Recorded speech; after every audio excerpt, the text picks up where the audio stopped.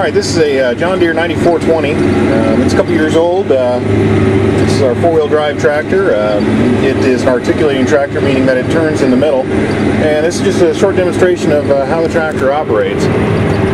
Um, obviously right here we have the steering wheel. Right now it's uh, it's being controlled by the computer which is just located right over there and uh, the auto steer system is taking control. What I've got down here is, uh, this is my gear shifter. If you look, uh, this is in the forward gear position, and to go up and down gears, of which there are 18 gears and forward, I just have to click it up once, and then it'll shift up, click it down, it'll shift down. We can do this while there's an implement in the ground. It's uh, it's very nice.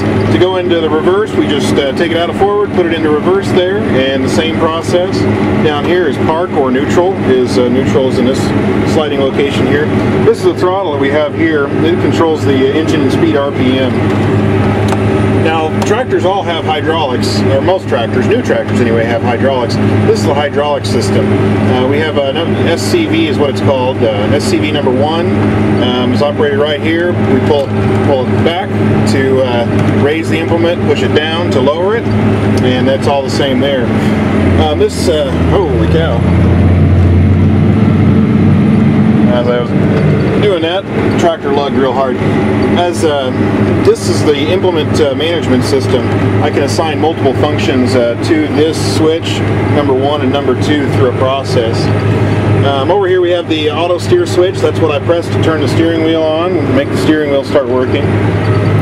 Over on the right here we have a couple additional controls. These are my uh, warning indicator indicator lights. Um, we just have a bunch of informational buttons right down here.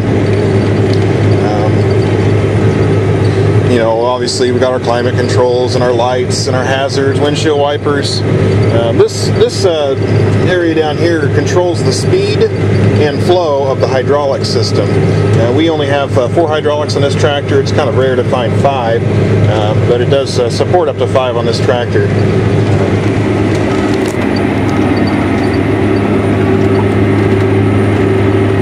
One spectacular thing about this uh, this tractor's transmission. I'm going to go ahead and push in the clutch real slowly and also we'll stop. We're pulling a heavy load, so I uh, this is a seven uh, shank ripper and it really, really pulls hard. Now what I'm going to do, notice we still got the ripper in the ground. I'm not going to press the clutch at all. I'm not going to press the clutch. I'm just going to put it in gear without using the clutch or anything.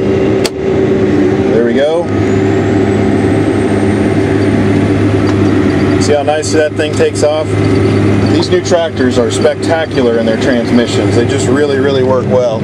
Even while having an implement in the ground, we can still start and stop without thumping around and sound like we're breaking things. This has been Brad uh, with Coon Creek Farms in Sullivan, Illinois.